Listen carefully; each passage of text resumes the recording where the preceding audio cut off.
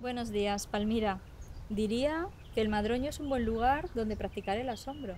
Sí, porque esta planta no deja de fascinarnos. La asociamos a zonas mediterráneas, pero también crece en lugares como este, como Cantabria, con veranos más frescos y húmedos. Y sea donde sea, el verde de las hojas no va a abandonar al madroño en todo el año. Es justo un año lo que tarda cada fruto en gestarse.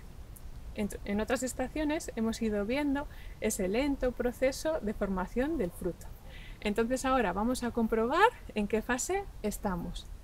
Tenemos por aquí un fruto y podemos ver cómo ya está más abultado, pero aún está verde y podemos tocar que aún está duro. Ya sabéis que tenemos que esperar a que esté rojo por fuera y naranja por dentro para poder degustar estos madroños. Con solo fijarnos un poco podemos disfrutar los avances de la naturaleza en todas sus maravillosas formas. Y es que seguimos atentos al ritmo de la naturaleza en todas las estaciones.